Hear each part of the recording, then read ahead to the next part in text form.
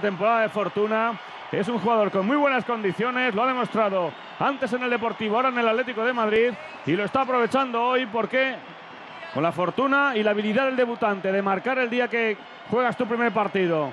Ahí vemos el remate de Adrián. España 1, Serbia 0. Sí, una gran jugada de contragolpe del equipo español, iniciada en un pase largo, profundo de Beñat, que ha visto perfectamente el desmarque de ruptura de, de Jesús Navas que ha aprovechado ese pase en carrera para golpear de primera con rosca a la entrada desde atrás de, de Adrián. Medio gol es de, de